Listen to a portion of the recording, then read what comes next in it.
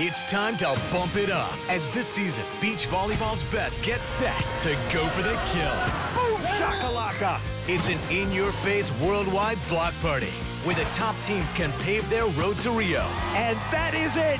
And who will draw a winning line in the sand at the 2015 World Championships? What a match!